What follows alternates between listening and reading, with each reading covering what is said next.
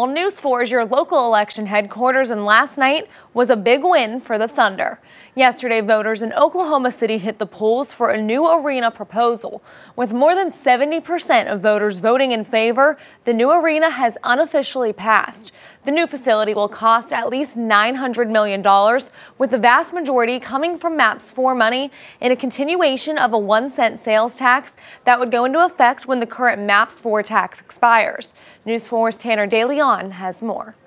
Anything that we can do to maintain that energy and to just keep things moving forward to me is a win. The excitement level is rising for those wanting a new arena, remembering what it was like decades ago before the city began to flourish. I do remember what Oklahoma City was like back in the days, back in the late 80s, early 90s. And not that it was bad, it was a great place to live, but it has become so much more. But others are still not happy. I mean, it is objectively the worst arena deal in the United States. Um, we are now on the hook for a billion dollar arena, um, while the Thunder ownership control all the major revenue streams, they get to benefit from it, and they put in 5%. Um, I just think Oklahoma City got a bad deal. Saying money will be a big issue. Uh, we're going to pay for it, and people are going to realize months from now how much it's really going to cost.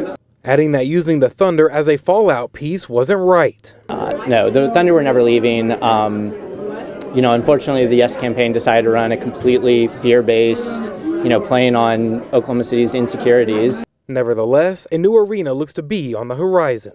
So it's time. So, uh, you know, let's keep things moving forward. Let's, you know, take the city as far as we can and make it be the best place to live. Well, last night, Thunder Chairman Clay Bennett sent out a statement saying, in part, we are deeply grateful for the confidence and pride our citizens have expressed in the future of our city. Once the election results are certified, the Thunder are expected to sign a commitment to play in Oklahoma City until 2050. And the NBA is excited about staying in Oklahoma City. Commissioner Adam Silver sent out, sent out a statement following the vote that reads, a signature of the Oklahoma City Thunder beyond the team's success on the floor has been their deep connection to their fans and their community. This vote for a new arena is another example of that bond.